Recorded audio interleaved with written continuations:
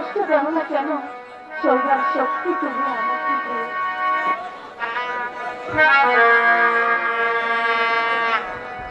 আমার